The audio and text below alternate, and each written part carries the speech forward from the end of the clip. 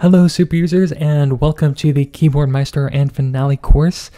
You'll want to watch this all the way until the end because with this information I'm going to share you, it has literally saved me hundreds of hours of work in Finale. Because Keyboard Maestro is an automation tool for your Mac. Odds are that if you do something on a regular basis, you can automate it with Keyboard Maestro. And this entire set of videos is to help you be able to use Keyboard Maestro with Finale and really speed up your workflow a lot. So there are three main goals. First, we're going to learn how to create useful macros, and these macros then are used to automate your workflow. Next, we're going to learn how to organize these macros. Most of the time, we'll be triggering these with keyboard shortcuts, but as you can imagine, if you have hundreds of macros, you might then have hundreds keyboard shortcuts, and that is really difficult to use. Firstly, because you might have to memorize all these keyboard shortcuts, and secondly, and secondly, to have hundreds of hotkeys, you're going to have to come up with these weird, awkward key combinations that will really contort your hand.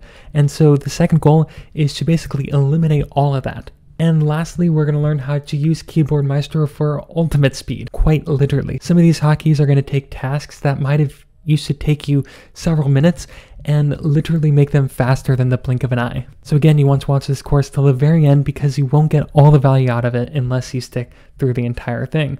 And that's because this course is a slow burn course.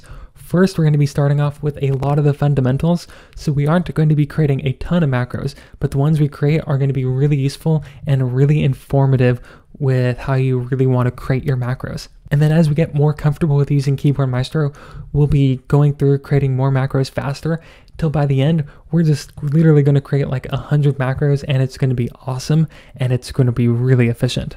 This course is broken up into five main modules. The first one is just the basics. These will teach you how to create just very simple macros, perfect if you've never used Keyboard Maestro before. If you've ever used Keyboard Maestro before, you could probably skip this module and go straight onto module two, which is all about organizing these hotkeys.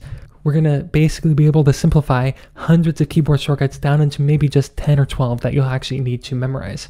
And then in module 3, we're going to go over some advanced scripts. Now these scripts are specifically designed to give you all the tools you need to do pretty much 95 to 99% of anything you'd want to do in Finale with Keyboard Maestro. Now this module may be dense, but I think it's really going to be worth it because if you don't watch it, you'll run into a lot of problems. Then in module 4, we're going to be creating some macros that are just insanely fast to give you ultimate speed in Finale. This is the module where we're going to be creating those scripts that will literally run faster than the blink of an eye and can save you a lot of work. And then finally in module 5, we're going to be going over some possibilities for longer, more complex macros that you can create on your own for your own specific workflow. So again, this is going to be a slow burn course, but I think you're really going to find it useful, and I will see you in the next lesson.